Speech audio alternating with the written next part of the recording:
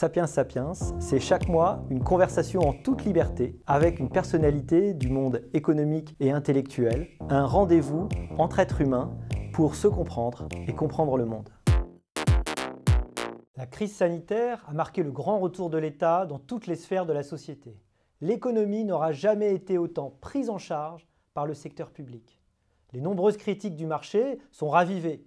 Il est accusé de prétendre à une autonomie illusoire, d'être l'une des causes principales de la pollution et du problème climatique, de privatiser les gains, mais de collectiviser les pertes. L'économie de marché a-t-elle encore un avenir? Quelle confiance devons-nous encore garder dans ce système? Le numérique en a-t-il changé les mécanismes?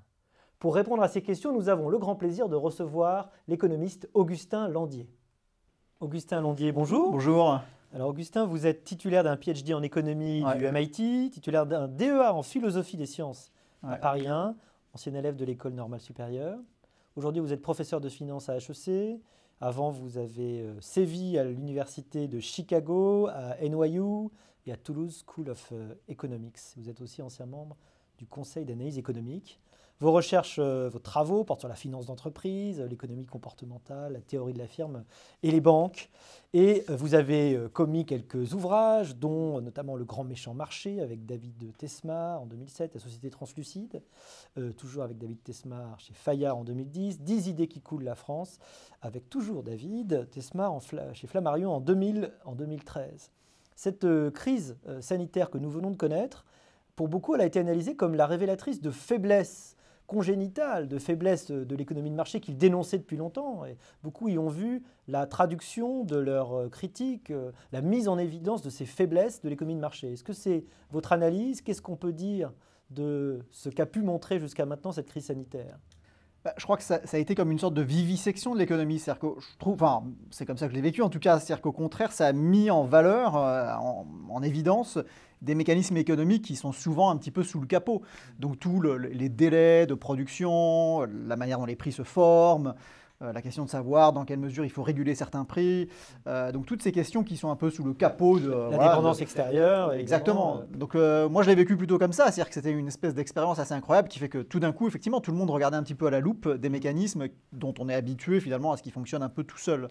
Mmh. alors effectivement, on s'aperçoit que bah, ça ne fonctionne pas tout seul, c'est-à-dire qu'en réalité c'est vraiment comme un moteur avec des tas de rouages et quand il y a un rouage qui marche plus, bah, tout peut, il y a des, des, effets boule de neige euh, et donc effectivement, ça a mis en, bah, ça, ça, a rendu visible le fait qu'on n'était pas euh, invincible, qu'il y avait effectivement de la rareté. Mais l'économie, c'est justement la science de la rareté, c'est-à-dire qu'il y a des moments où bah voilà, il n'y a plus, plus de masques. Donc on était vraiment au cœur de l'économie, au contraire, je trouve, avec cette espèce d'apparition de, phénomènes de rareté qui sont un peu la, bah, le sujet même de l'économie. Hein si on avait pu douter que l'économie traitait de notre vie réelle et qu'il n'y avait pas de différence entre l'économie et le social, en quelque sorte, peut-être que le sanitaire nous l'a montré, c'est souvent la critique qu'on apporte et qu'on porte au, marché financier, euh, cet éloignement euh, de la réalité. Euh, est-ce que vraiment il y a un décalage complet aujourd'hui entre le monde de la finance et la réalité économique Le premier, évidemment, nuisant au bon fonctionnement et à l'efficacité de l'économie?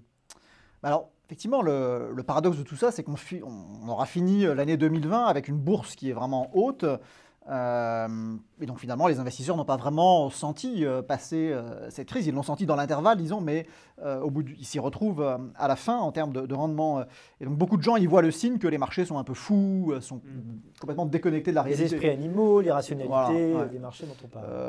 et en fait, bah, quand on fait un peu le calcul, on s'aperçoit que la, baisse des taux qui, qui s'est produite pendant cet épisode, et puis bon, qui elle-même n'est pas une bonne nouvelle, hein, au sens où elle traduit bah, des prévisions de croissance plutôt faibles, mais cette baisse des taux elle suffit à justifier les valorisations boursières euh, qu'on voit. Et donc c'est voilà un des sujets où effectivement les économistes ont un rôle utile à jouer parce qu'au fond, c'est cette hausse des valorisations boursières, c'est un phénomène qui est similaire à la, hausse de la capacité d'endettement des États, dont on parlera peut-être euh, plus tard. Mais en réalité, quand on, additionne les choses, bah, la, valeur des entreprises, qui est le, flux des cash flows futurs actualisé à un taux qui est maintenant très bas, bah, ça, colle bien euh, avec les, valorisations euh, qu'on observe. Donc non, les marchés ne sont pas, sont pas fous.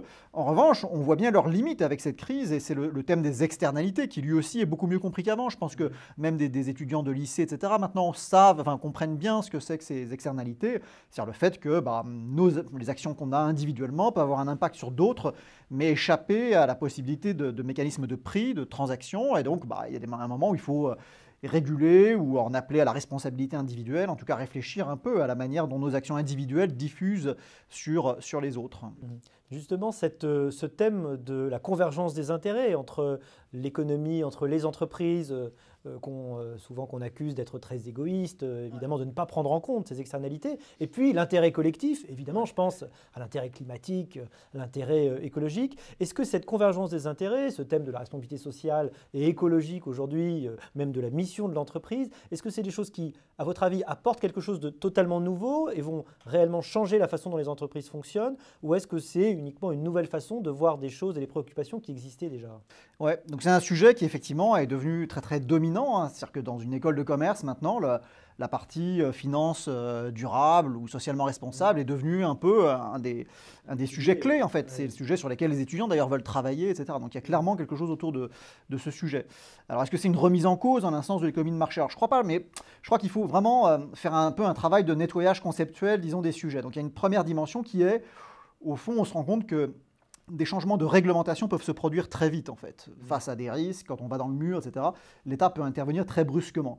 Et donc, dans, dans l'idée de la finance responsable, il y a un petit peu cette idée qu'il bah, faut anticiper sur les changements de réglementation futurs et s'adapter plutôt en avance, là où c'est pas trop coûteux, plutôt que trop tard.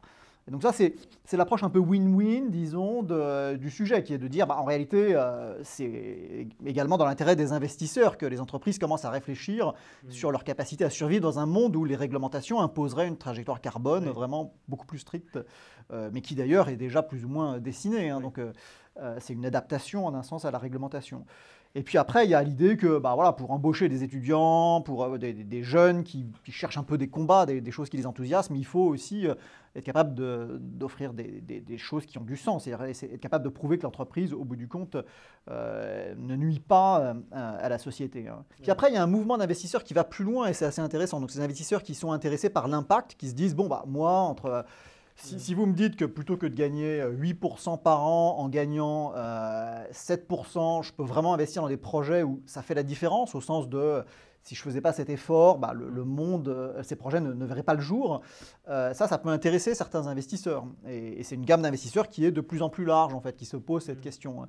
Mais alors effectivement, ça, ça suppose de sortir de la rhétorique du win-win et de poser la question de bah, est-ce que vous êtes vraiment prêt à gagner un peu moins en espérance en tant qu'investisseur, mais en même temps, ça donne une saveur à vos investissements qui est différente puisque euh, ils, sont, euh, ils ont un impact sur le monde euh, qui, bah, qui répond à vos propres préférences. Mmh. Mais c'est important de faire le distinguo en un sens. C'est-à-dire qu'il y a ce qu'on peut appeler le, le stakeholderisme instrumental, qui mmh. consiste à dire la bonne manière pour les entreprises de réfléchir à où sont les bons projets, c'est de se mettre en phase avec la société. Et pour ça, il faut, voilà, il faut prendre en compte le fait que l'écologie est devenue un thème incontournable, etc. Et puis, il y a autre chose qui est, en tant qu'investisseur, il y a une, un certain nombre d'investisseurs que ça intéresse euh, d'être à la frontière entre le rôle d'investisseur et puis quelque chose de l'ordre de plus philanthropique euh, c'est le cas de Bill Gates, par exemple, qui dit, euh, lui, son but, c'est pas de purger son portefeuille d'actions des entreprises qu'il n'aime pas, mais c'est de trouver des projets qui, sans lui, ne verraient pas le jour. Et donc, il est prêt à accepter une rentabilité plus faible une fois qu'il a détecté ses projets. Justement, on est bien là dans l'irruption à côté de la question, la simple question du bénéfice, de la bottom line, on est bien dans l'irruption d'autres intérêts et de la question de l'arbitrage entre ces, ces, différentes choses. Est-ce qu'on a des outils pour évaluer ces fameuses externalités qui sont très difficiles à évaluer? Si vous êtes Bill Gates, vous pouvez dire on a vacciné tant d'enfants, on a sauvé tant de vies, il y a une sorte d'objectivité. Est-ce que la difficulté, ce n'est pas justement la difficulté d'arriver à objectiver les externalités pour les entreprises? Peut-être euh, c'est ce qui va fonder le reproche qu'on fera à beaucoup d'entreprises de, paraître faire des efforts, mais en réalité euh, de ne les faire qu'en surface. Non, ben, très clairement, je pense que c'est un sujet clé en fait de, ce thème de, l'investissement responsable ou ESG ou de, la notion d'impact, disons. Je crois qu'il y a deux. Alors, j'ai essayé de, répondre un peu en détail. C'est-à-dire qu'une première question, c'est quel est l'impact d'une entreprise? Et pour y répondre de manière claire, bah, c'est la différence entre le monde avec cette entreprise versus le monde sans. Mais voilà, si, bah, si je sais pas, Peugeot ou une autre entreprise choisissait de ne pas produire de voitures électriques, probablement que d'autres gens en produiraient, donc en un sens et inversement. Donc là, dans des marchés concurrentiels, finalement, c'est pas très clair que vous avez un impact en ce sens-là. Puis après, comme investisseur, la question se complique encore, parce que quand vous investissez dans une entreprise, si j'achète du Tesla, est-ce que je peux prétendre avoir un impact euh, qui, soit, enfin, qui soit celui de, de l'entreprise Tesla elle-même? C'est pas clair. C'est une entreprise qui n'a pas de difficulté à trouver du, euh, euh, cash pour se, financer. Euh, et donc, il faut vraiment poser cette question de manière honnête. Et en, réalité, on s'aperçoit que bon, l'impact, il passe essentiellement par l'engagement, c'est-à-dire le, fait que les investisseurs challenge les entreprises, les forcent à donner plus d'informations sur ce qu'elles font, remettre en cause parfois leur stratégie. Et puis euh, l'impact indirect qu'on peut avoir sur le coût du capital d'une entreprise, mais ça, ça suppose d'être très gros. Euh, donc là-dessus, je pense que ah, vous avez entièrement raison. Il y, a un, sujet un peu pédagogique et, puis aussi de, production de données, mais il faut sortir des discours naïfs. Et, par exemple, la Banque centrale européenne tient un discours un peu naïf là-dessus, au sens où euh, elle fait un peu comme si investir dans des indices euh, décarbonés, par exemple, c'était une manière de faire en sorte que, euh, enfin, d'aider à, produire moins de CO2. C'est pas clair du tout. Hein. C'est-à-dire que les, mines de charbon, elles existent. Si elles sont possédées par des investisseurs qui s'intéressent moins euh, au sujet de, la pollution, en réalité, on va, va pas avoir un impact simplement en les boycottant. On pourra peut-être se sentir moralement plus vertueux, mais on n'aura pas un impact. Et donc ça, il faut vraiment poser cette question-là de manière non naïve. C'est-à-dire qu'au bout du compte, toutes ces entreprises qui polluent, il faut qu'elles soient possédées par des investisseurs qui sont concernés par le, sujet de comment les transformer, voire comment débrancher dans certains cas euh, euh, certaines lignes de production. Hein. Justement, comme vous êtes enseignant en école de commerce, est-ce que vous avez vu une différence dans l'état d'esprit des, étudiants? Est-ce qu'il y a vraiment des enseignements d'ailleurs qui se sont développés euh, euh, spécifiques? Est-ce qu'il y a un intérêt réel? Est-ce qu'on a l'impression qu'une nouvelle génération avec de nouvelles préoccupations se lève? Ah, Complètement, oui, complètement. Bon, d'abord, il y, en a qui, veulent carrément aller plutôt bah, dans l'entrepreneuriat social ou mm. les think tanks. vous connaissez ça mieux que moi. donc il y a une grosse demande en fait pour aller vers des, euh, des trajectoires de carrière où on a l'impression de contribuer à la production de biens publics, au débat social, euh, et plutôt moins en fait à la politique. C'est-à-dire que j'ai l'impression que beaucoup de gens qui auraient été vers des trajectoires plus de faire de la politique, finalement cherchent des choses comme ça dans cette économie un peu euh, qui n'est pas uniquement euh, axée sur le profit. Donc pour être concret, hein, moi j'ai produit deux cours en fait sur ces sujets, un, MOOC et puis un cours de un cours de MBA, il y a une demande très forte et qui est, assez satisfaisante parce qu'en fait, ce pas des questions qui sont déjà réglées. Donc, euh, il y a même des, aspects philosophiques en fait sur euh, l'éthique, vous savez, l'éthique déontologique versus l'éthique conséquentialiste. Et c'est au cœur de ce sujet en fait. C'est-à-dire qu'il y a une tentation un peu de ce qu'on appelle l'éthique déontologique, enfin, ou l'idée un peu de Kant de dire bah, ce qui est bien, c'est de faire quelque chose, ou si tout le monde le faisait, le monde serait meilleur. Et donc, Au nom du bien seulement. Voilà. Donc dans ce cas-là, je vais investir plutôt dans un CAC 40 décarboné. Et je me dis, bah, si tout le monde faisait pareil, euh, les entreprises euh, qui polluent, elles seraient en mauvaise posture. Euh, mais ça, c'est pas très pragmatique. Et donc ce qui est intéressant, c'est que les nouvelles générations ne sont, sont, pas du tout dans cette philosophie qui vient plutôt des institutions religieuses qui, elles, ont toujours eu un peu cette pratique, en fait. Mmh. Dans, le, protestantisme, même au XVIIIe siècle, il y avait cette idée que pas, si on investit dans une entreprise, on est responsable de l'usage qui est fait de son argent. Et euh, voilà, c'est indépendant de la question de savoir si quelqu'un d'autre aurait prêté si vous n'aviez pas prêté. Donc, hmm. les nouvelles générations, elles sont plus pragmatiques au sens où elles veulent savoir si ça fait une différence. Euh, et donc elles se posent les questions plus comme des économistes à mon sens, c'est-à-dire en hmm. termes conséquentialistes. C'est-à-dire concrètement, est-ce que vous êtes sûr que si j'investis dans tel fonds, ça change le monde, même d'un petit epsilon, ou mm. bien est-ce qu'il n'y a pas de raison de le penser mm. euh, Voilà, donc cette charge de la preuve, un peu nouvelle, comme ça, pragmatique sur l'investissement euh, responsable, ça je la trouve très intéressante. Parmi les contributions à la société d'une entreprise, il y a l'emploi notamment. Et l'emploi, c'est quand même aujourd'hui, euh, à l'heure où nous parlons, la grande inquiétude. On va peut-être vers un taux de chômage à 12%, un taux absolument inouï. Qu'est-ce qu'on peut faire aujourd'hui pour arriver à limiter euh, ce, taux de chômage. Est-ce qu'on peut s'attendre à ce que cette montée soit relativement brève? Je sais que pour les économistes, la prévision est toujours difficile par définition, mais qu'est-ce qu'on peut arriver à lire comme signe?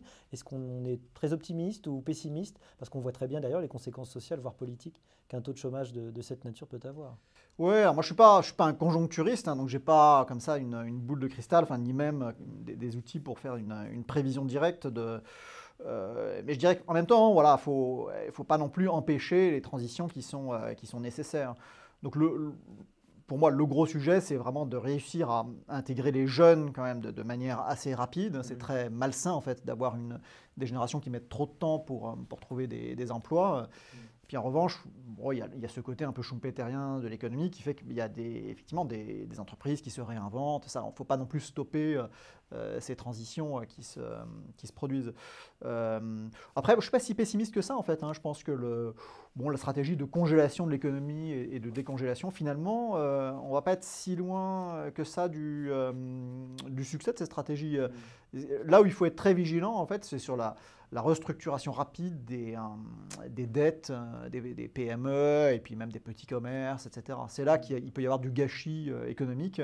C'est des situations où on conduit à la fermeture d'entreprises qui sont viables parce qu'on n'a pas le temps ou la capacité en fait, de renégocier la dette. Mmh. Donc ça, c'est très important que bah, faut, quelqu'un prenne la, paume. Dans les, il y a des situations où il y a des entreprises viables mais qui ne peuvent pas rembourser l'intégralité de la dette qu'elles doivent. Bah, là, il faut il faut restructurer, il faut euh, sans doute automatiser quasiment. Je pense que là, l'État a un rôle à jouer parce qu'effectivement, pour les petits commerces, c'est c'est pas grand chose, un peu, c'est du détail un peu pour mmh. les banques. Euh, or, c'est assez dangereux qu'il y ait une, une, congestion en fait de, ce problème de, restructuration. Il ne s'est pas encore posé, c'est qu'on n'a pas encore vu le fameux mur de faillite que beaucoup d'économistes prédisaient, on n'a pas encore vu euh, arriver. Peut-être parce que justement le système de soutien fonctionne encore à plein.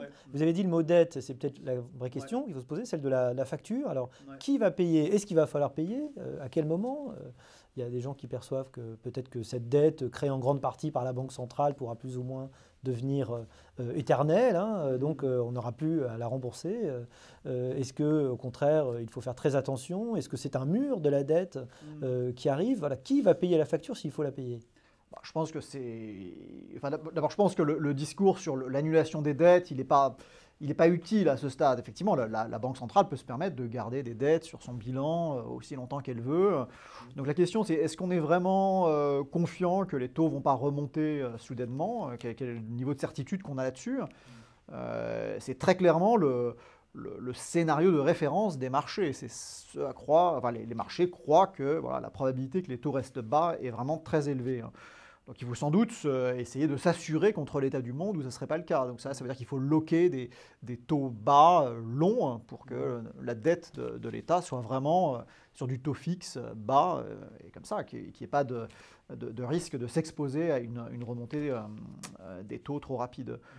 Et après, bon, personnellement, ça me semble plausible hein, que ce soit vraiment le scénario le plus probable. Ça ne veut pas dire qu'il n'y a pas une probabilité 5% que les taux remontent. Alors, est-ce que les taux remonteront, Justin J'ai envie de vous demander. Est-ce qu'un jour les taux remonteront? Et genre, question subsidiaire, est-ce que l'inflation reviendra? Alors moi, je suis pas, encore une fois, je suis pas bon pour faire des prophéties. Euh, et en plus, je pense qu'il faut vraiment voir les choses en termes probabilistes. Hein. C'est-à-dire que je pense que le scénario médian, le plus probable, si on faisait un arbre comme ça de scénarios, ça reste un scénario de taux bas et, d'inflation basse. Après, effectivement, il y a des économistes qui pensent que les, les, bah, les, conditions démographiques ne sont pas favorables à une, inflation basse, qu'en réalité, peut-être que euh, le, fait que les gens commencent à manger leur épargne, les, baby-boomers s'étant un petit peu sur la partie... Euh, voilà, de l'époque de leur, de leur, cycle de vie où ils vont plutôt euh, consommer leur épargne. Donc on va avoir moins cette masse d'épargne qui pousse les taux vers le bas. Et puis inversement, peut-être des phénomènes de rareté sur certains, euh, certains types de compétences qui font que dans ce cas-là, les salaires pourraient euh, remonter. Moi, je ne pense pas que ce soit le, scénario le plus probable, mais je vois bien la, logique qu'il y a derrière. Il y, a plusieurs livres qui ont été écrits comme ça, qui prennent ce, type de, enfin, qui cherche à montrer la logique possible de ce type de scénario. Hein. Parmi les idées nouvelles, un peu improbables qui sont arrivées, il y a eu le retour, en quelque sorte, de l'idée de patriotisme, qui jusque-là paraissait assez euh, euh, voilà, contingente euh, à, certaines, à certains partis politiques. Et puis maintenant, on parle naturellement de patriotisme économique, voire de patriotisme, de patriotisme écologique, de patriotisme solidaire.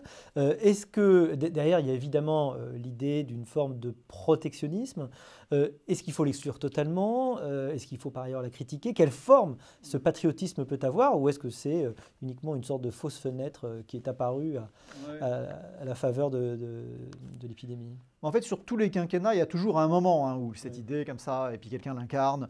Donc il y a eu Villepin à une époque, ensuite il y a eu Montebourg, euh, voilà. Et donc maintenant, on a cet épisode un peu patriotique. Alors, il a sa, il a sa logique qui est justement que la question des externalités, elle pose la question de à quelle, enfin, quelle est la bonne échelle pour penser le, la communauté, le bien commun, le, groupe à, l'échelle duquel on, cherche à penser les régulations. Donc, dans le cas de la France, qui est très centralisée, ce n'est pas la région, c'est plutôt, plutôt l'État-nation. Donc il y a cette idée que c'est le périmètre de référence en quelque sorte. Et puis après, bon, qu'est-ce qu'il y a eu d'autre? Il y, a, eu l'idée qu'il y a eu des pénuries repérées sur certains produits qu'on ne produit plus. Ça, je pense, c'est une idée. Voilà, l'idée de. Bah, d'ailleurs, les masques qu'on utilise, hein, ils sont assez. Enfin, en majorité, en réalité, les chaînes se sont reconstruites. Et Elles ont cicatrisé. C'est plutôt des masques produits en Chine, euh, si vous les achetez. Euh, euh, les masques jetables en particulier. Bon, donc là, là-dessus, je pense que il y a quelque chose d'un petit peu de l'ordre du fantasme dans cette idée qu'on va rapatrier l'intégralité euh, de, notre capacité à, produire tous les objets euh, dont euh, on, a un usage courant et dont on dépend dans une certaine mesure. Mm. En revanche, pour les entreprises et puis aussi pour l'État, il y a cette idée qu'il faut penser le, management du risque en fait de nos chaînes de production et donc penser la dépendance un peu comme un investisseur diversifie ses, paris. Bah, là aussi, il faut avoir des chaînes qui sont plus ou moins euh, euh, diversifié en fait sur plusieurs continents, euh, qui ne nous fragilise pas en termes de négociation. C'est-à-dire qu'on peut aussi, enfin, la, géopolitique en fait a repris un peu le, dessus. On voit que le, les crispations peuvent être beaucoup plus fortes. les épisodes Trump ont montré que finalement l'espèce de côté poli des, des, relations diplomatiques peut en fait disparaître assez vite. Et donc là-dessus aussi, ça veut dire qu'il faut réaliser que le pouvoir de négociation qu'on a vis-à-vis d'un pays dépend des dépendances qu'on a. Donc là aussi, c'est une logique de diversification euh, qu'il faut, qu'il faut penser. Et puis aussi une capacité à reconstruire une, capacité à produire si le besoin s'en fait sentir. il faut vraiment faire le distinguo entre ce qu'on produit en, en, rythme de croisière et puis euh, la capacité qu'on a à déployer euh, une capacité de, construction si besoin. Et donc là, ça veut dire maintenir des savoir-faire, peut-être en état de veilleuse dans certains domaines. Et précisément, vous parlez de dépendance et de savoir-faire. Est-ce que depuis une quinzaine d'années, le développement des GAFA, pour ne pas les citer, ou des nouveaux géants du net de façon générale, avec des technologies, des puissances de ces grandes plateformes qui sont en général en, dehors de l'Europe Est-ce que ce n'est pas une dépendance euh, qui est un petit peu problématique et qui mm. euh, soulève ce problème de la souveraineté? Est-ce que d'ailleurs ça change le jeu économique, cette domination absolument inouïe euh, de certaines plateformes, avec cet effet d'accumulation, du gagnant prend tout hein? Mm. Est-ce que c'est pour l'économiste une matière de, réflexion, d'inquiétude, peut-être de, de doctrine nouvelle? Ah oui, donc je pense que là-dessus, bon, la bonne échelle pour le coup est moins sans doute la nation que, l'Europe. Mm. Et je pense que la question, elle, est, posée de manière euh, intelligente hein, par, la Commission européenne. Euh, et donc il faut sans doute euh, réfléchir à donner accès à des données pour limiter en fait l'espèce de, domination qui s'installe s'il y a un monopole sur, sur les données personnelles. Donc je pense qu'on se dirige vers ça, vers cette idée que les GAFA vont devoir fournir un, accès à des données. Après, il faudra réfléchir à, l'anonymisation, enfin, dans quelle mesure ces données doivent être anonymisées, quel est leur périmètre. Mais il y a un petit peu cette idée ouais, qu'il faut pas, enfin, il y a quelque chose de malsain dans le, dans le monopole qui s'installe, qui après euh, s'auto-entretient. Euh, c'est une barrière à l'entrée, disons, qui est vraiment euh, particulière et un peu nouvelle dans sa nature. Mais là-dessus, voilà, je pense que la réflexion est, très, euh, assez avancée en fait sur ces sujets-là, en économie industrielle. Euh, bah, Toulouse est un des endroits d'ailleurs qui, euh, qui, réfléchit beaucoup à ces sujets-là. Mm. Alors à partir de 2021, on commencera une année, non seulement une année de reconstruction, probablement de relance, mais une, année aussi de, pré-réflexion autour des présidentielles qui vont arriver extrêmement rapidement. S'il y avait des mesures que vous auriez envie de voir dans les futurs programmes économiques des candidats, Lesquelles seraient-elles a priori? Quelles sont les mesures qu'il faudrait voir figurer aujourd'hui? Qu'est-ce qui nous manque économiquement? Alors, bah déjà, quand on pose cette question, il y a toujours, c'est toujours un peu schizophrène, hein. c'est-à-dire qu'il y a ce qu'on peut, euh, il, faut, savoir quelles sont les, pour quelle fin. le souhaitable et le faisable, c'est ça Déjà, si le souhaitable c'est de gagner une élection, déjà il y a la question de qu'est-ce que c'est qu'un programme. Ça, c'est le problème du, du, candidat. Exactement. Et puis après, bon, il y a la question de si, mes si j'utilise mes propres préférences, qui sont plutôt euh, bah, de voir la France, retrouver un peu de, de, créativité technologique, scientifique. Euh, voilà. Mais ça, c'est des préférences personnelles en un sens. C'est-à-dire qu'après tout, ça peut être des préférences aussi. Euh, il se peut qu'une majorité de la population ait envie d'avoir le droit de jouer à des vidéogames à partir de 5 heures du soir. Ça peut être. Donc là, c'est de la politique, c'est pas de l'économie en un sens. Donc il y a toujours un peu. C'est pour ça que je prends toujours des précautions. Euh, il faut savoir quels sont, quel est l'objectif. Et ça, c'est pas l'économiste de donner l'objectif en un sens. Après, moi, personnellement, et là, ce n'est pas, pas uniquement de l'économie, hein, c'est aussi quelque chose de, de, de, préférences personnelles. Je pense que le bilan de ce quinquennat, c'est qu'il y a eu un excès de centralisation et qu'on voit bien qu'on doit aller en France vers plus de, décentralisation. Je sais que c'est plus facile à, dire qu'à faire, évidemment. C'est-à-dire qu'il y a des blocages, mais euh, il y a dans l'état d'esprit du gouvernement actuel un excès de, centralisation. Et donc voilà, moi je, cherche euh, des, des, gens qui porteraient un peu cette idée qu'il faut aller vers plus de décentralisation, parce qu'on voit bien que la délibération publique, il y a une demande très forte de pouvoir délibérer, mais ça ne peut pas se faire à l'échelle de, la nation. Euh, mmh. euh, bon, après, j'aime bien le côté laboratoire des conventions citoyennes, etc. Mais je pense que euh, pour qu'en France, on arrive en fait à faire des expériences dont certaines seront des échecs, dont certaines seront des succès, et qui du coup font avancer le débat, il faut passer à un échelon plus régional ou à un échelon de la métropole euh, c'est là qu'on pourra comparer un petit peu ce qui marche, ce qui ne marche pas. Donc je suis mm. pour une régionalisation de beaucoup de sujets, y compris le, salaire minimum, par exemple. Mm. Je pense que ça, ça, ferait énormément avancer le débat. On est dans un pays qui a du mal à regarder à l'extérieur pour trouver des exemples euh, dont, on pense qu'ils s'appliquent à nous-mêmes. Mm. Euh, donc ça veut dire que le débat public, il ne pourra avancer que si on peut montrer des exemples français de succès ou d'échecs pour montrer de manière tangible les effets positifs ou négatifs d'une politique. Hein. Et puis laisser aussi euh, la diversité des préférences s'exprimer, c'est-à-dire qu'il y a des... Y a des villes où, après tout, il peut y avoir une demande très forte pour de la redistribution euh, ou des problèmes très spécifiques de logement. Donc, ces problèmes-là doivent être posés de manière euh, locale. Mais c'est ça qui empoisonne les vies. C'est souvent des, des, problématiques très locales en réalité. Les problèmes de logement, par exemple, ne peuvent pas se penser à l'échelle de la nation. Ça n'a pas de sens. Mmh. Euh, le salaire minimum, en réalité, non plus, hein, puisque c'est très lié.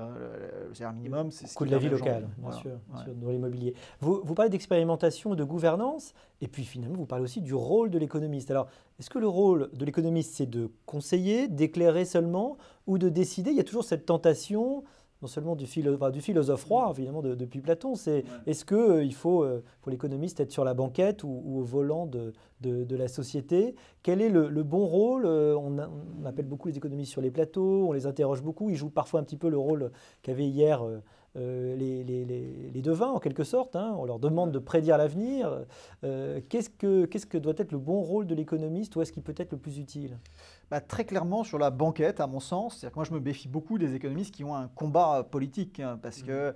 ça conduit à un mélange des genres dans les argumentations. C'est-à-dire à la fois essayer de susciter des, des aspirations et de montrer euh, qu'on, qu'on est engagé pour le, le, bonheur des gens, euh, c'est déjà faire le présupposé qu'on sait ce qui fait le bonheur des gens. Alors qu'on mm. le, euh, donc je me méfie beaucoup des économistes euh, trop engagés politiquement. à mon sens, il y a un juste milieu, hein. c'est-à-dire qu'en même temps, bah, voilà, chacun a ses, idées personnelles, mais l'économiste, c'est avant tout celui qui relève hein, les fautes de logique, qui met le doigt un peu sur des effets indirects de certaines politiques, ou qui permet aux politiques de confirmer son intuition sur, mm. sur un sujet et puis qui aussi mobilise un petit peu les, évidences internationales sur certains sujets. Donc je pense que les, politiques n'ont évidemment pas le temps de lire l'intégralité de la littérature sur tel ou tel sujet. Donc voilà, l'avantage de, de l'économiste, c'est d'être en position de d'essayer de trouver de, de, fact-checker en fait. C'est le fact-checker des faits économiques. Bah il y a un petit peu ça avec euh, avec quelque chose qui relève un peu aussi de la de la modélisation hein, ou de ou de la, logique économique, l'idée de, de, montrer un peu un mécanisme qui peut être à l'œuvre, qui, qui serait une conséquence indirecte imprévue par exemple d'un euh, d'un effet. C'est-à-dire qu'il y a beaucoup d'effets d'équilibre où finalement euh, et c'est d'ailleurs un peu un, un peu un lieu commun, hein, mais c'est vrai que souvent les politiques bien intentionnées ont, des effets indirects qui finalement se retournent contre les, gens qu'elles sont censées euh, protéger. Donc là, c'est le rôle de l'économiste d'essayer de, trouver une manière de, de l'expliquer, de le mesurer. Euh, et puis parfois aussi, euh, il faut remettre en cause euh, nos propres croyances. je crois que sur, la globalisation, par exemple, les économistes ont été pris un peu en défaut de ne mm. pas avoir bien pensé les effets induits. donc là, c'est un mm. peu un contre-exemple à ce que je dis, où finalement peut-être que certains politiques avaient une intuition plus nette. C'est-à-dire que les économistes de ma génération ont été tellement éduqués dans l'idée que ce qu'il faut, c'est maximiser la taille du gâteau, et puis après, on s'arrange pour le redistribuer de manière équitable, mais on peut faire quelque chose qui est gagnant-gagnant pour tout le monde. Bah, cette idée-là, elle, s'avère en fait fausse. C'est-à-dire qu'il y a plein de situations où euh, la redistribution n'est pas faisable. Hein. donc vous ne pouvez pas dire au docker de Marseille, euh, tu es une nuisance pour la société, mmh. euh, on te donne un package et ça ne marche pas, ça, ça marche pas. C'est souvent pas crédible. Mmh. et puis, ce n'est pas non plus quelque chose qui, qui est supportable pour les gens.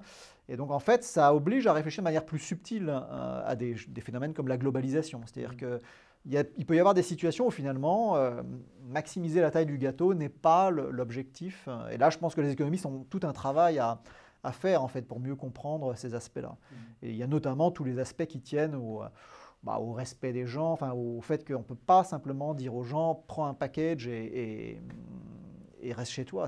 On détruit, on détruit euh, les sociétés en faisant ça. Donc euh, là, je pense qu'on a beaucoup appris des 20 dernières années sur ces dimensions. Euh, et ça, c'est un des enjeux pour la recherche économique, en fait, de se mettre à jour euh, pour prendre en compte ces dimensions plus psychosociales, en fait, de euh, mmh. qu'est-ce qui se passe quand on ferme des usines, quand on dit à des gens, bah, désolé, mais tu es devenu obsolète, c'est pas tenable comme discours, même quand on les compense économiquement. L'économie, vous voulez dire, doit s'enrichir des sciences probablement sociales, de la compréhension du, du, tissu social, de l'impact, de la compréhension de la façon dont on peut former des gens, à quelle rapidité, dans quelle mesure et que ça, ça éclairerait le, débat économique. Bah, Complètement, et puis réinterroger euh, l'objectif. Donc ça, c'est un vieux thème qui est que bah, le, PIB, euh, qu'on a pris un peu comme, euh, comme mesure de la santé... Parce que c'est simple, parce qu'il y en a un, parce que, voilà. Mais là, il faut s'interroger de plus en plus sur bah, les impacts inégalitaires mm. et puis sortir de l'idée qu'on peut corriger les inégalités par de la fiscalité en permanence. Ça ne fonctionne pas, ça ne suffit pas. Et puis dans certains cas, c'est juste pas acceptable pour les, pour les populations qui doivent être taxées aussi. Alors pour terminer, j'ai envie de vous demander, comme euh, c'est aujourd'hui une tradition euh, pour euh, Sapiens Sapiens, comment vous en êtes arrivé à l'économie? Comment devient-on économiste? D'où vient cette vocation? Si c'est une vocation bah, ouais, donc il y, a des, trajectoires très différentes. Beaucoup de gens vous répondraient Oh, j'avais envie de, défendre le, bien commun, de travailler pour le bien commun. Moi, Moi, c'est pas mon cas en fait, donc je réponds candidement là-dessus. moi, c'est beaucoup plus la curiosité et puis une espèce de fascination pour cette discipline qui mélangeait le, descriptif et le normatif. Mmh. Donc ce que je veux dire par là, c'est qu'en économie, il y a cette espèce de vertige qui tient au fait qu'on décrit une réalité dont on change en fait les, paramètres par le simple fait de trouver une théorie. Donc ça, s'applique particulièrement en finance, c'est-à-dire que la manière dont par exemple on, met un prix sur une option euh, ou même une action d'entreprise, hein, ça dépend de la manière dont on formule la question de bah, qu'est-ce que c'est que le prix d'une action d'entreprise ou d'une option. Et puis il y a quelque chose d'auto-réalisateur en un sens, puisque les gens utilisent les théories économiques pour fonctionner, faire fonctionner euh, les marchés. Hein. Donc c'est le cas aussi en, macroéconomie. Donc ça, ça me fascinait. Et puis après, il y a quelque chose qui est plus de l'ordre de la curiosité, c'est-à-dire que je trouve que dans le débat public, il y a beaucoup de dissonance, il y a beaucoup aussi de tabous, c'est-à-dire que on ne peut pas toujours euh, poser les choses de manière euh, franche. C'est-à-dire que souvent dans un débat, quand il n'est pas scientifique, mais sur le, registre de la conversation, on veut montrer de quel côté on est. Donc sur l'écologie, par exemple, il y a plein de tabous, il faut faire attention à ce qu'on dit, etc. Et donc en économie, ce que j'apprécie dans cette discipline, c'est sa capacité euh, de s'abstraire de ces tabous en un sens et de jouer un peu carte sur table en mettant à jour parfois des réalités d'ailleurs pas très...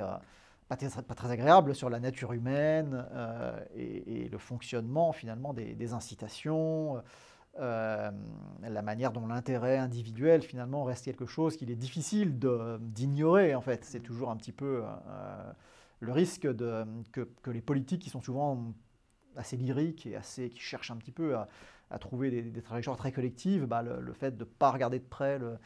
l'individu et ses incitations personnelles finalement conduit souvent à, à des déceptions. Donc voilà, c'est vraiment la curiosité et puis encore une fois cet aspect un peu aussi détective euh, qui a été particulièrement euh, marqué, je pense, pour les économistes de ma génération avec l'apparition de beaucoup de bases de données mm. qui permettent d'aller fouiller, en fait, de voir un petit peu l'envers du décor, les coulisses finalement de la, de, de, la production, de la réalité euh, agrégée, hein, de, la macroéconomie, si vous voulez. On peut vraiment voir maintenant plus à la loupe. Depuis quelques années, ça, ça a vraiment changé, ça, le travail de l'économiste ah L'arrivée des données, la capacité de les traiter Oui, donc il y a vraiment une il y a eu euh, dans les années 90 euh, une, apparition d'une flopée de, de, données individuelles, à la fois sur les entreprises et puis sur les individus, euh, qui fait qu'on a pu regarder vraiment beaucoup plus à la loupe des mécanismes économiques qui avant étaient approchés plus bah, par des macroéconomistes qui regardent un peu des gros agrégats et puis qui essayent de trouver des lois suffisamment générales. Donc ça, ça change un petit peu la nature du, du métier. Hein. en particulier en finance, qui est un peu mon, domaine de, prédilection. Ah, là, on peut fouiller dans, dans plein de dimensions parce que c'est des domaines très réglementés et du coup, il y a eu une prolifération de données réglementaires. Merci beaucoup, Augustin Landier.